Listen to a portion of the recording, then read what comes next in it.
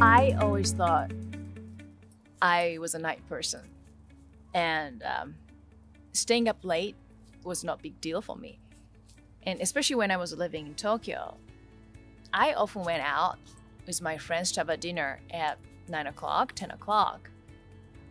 And when I was doing TV shows, sometimes I had to go to TV studio at 11 p.m. and that was okay. So going to bed around two o'clock, three o'clock, and that was fine because I thought in my head I was a night person. However, after having my daughter, I decided to change my lifestyle dramatically. And one thing I really wanted to change was becoming a morning person.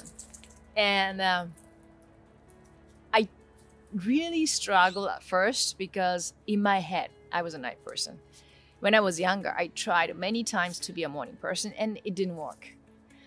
So, what I did was I dramatically changed it by going to bed early and then getting up early. And I'm saying that going to bed early, like sometimes at 9:30. And naturally, by sometimes three o'clock, I was up like, whoa, because I had already enough sleep.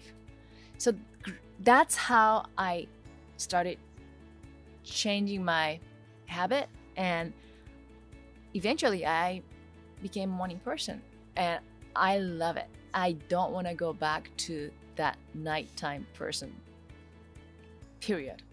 Because when I wake up in the morning, usually I get out of bed 4:45. I have a cup of hot water, which is such an amazing thing to do in the morning.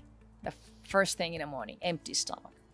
And then yoga, meditate, breathing exercise, and I secure one hour just for myself. No interruptions, nothing. And quiet.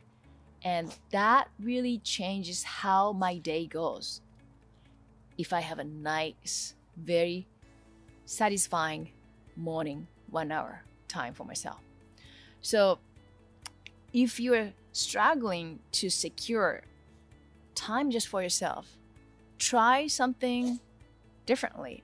That could be something, you know, getting up super early like I do, or changing some habit dramatically. And I believe that when we really, really want to change and when we really want to um, make it happen, you need a dramatic change. So for me, like I said, going to bed early and getting up early and super early. And I feel like I have more than 24 hours these days because I get up super early. By the time my family come to the kitchen, I usually finish my meditation and yoga and all the quiet time for myself. And I would say I'm more peaceful and I feel more grateful for everything happened in the daytime. So that's the secret. Try that.